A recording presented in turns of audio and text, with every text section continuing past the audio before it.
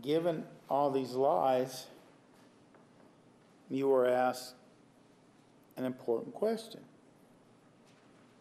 Why should anyone believe you now? Remember being asked that? Yes.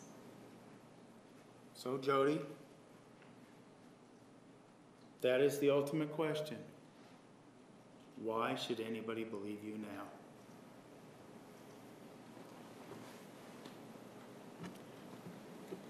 Like I said before, all of my, I lied a lot in the beginning, and each of those lies tied back directly to two themes Travis and protecting his ego, I mean, his reputation, um, and my own partially, and two, related to any involvement in his death.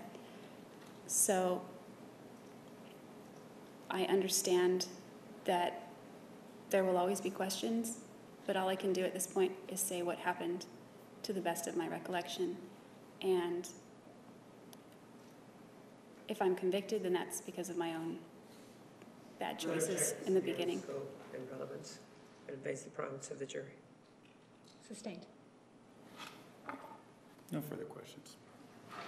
Martinez, you may follow up.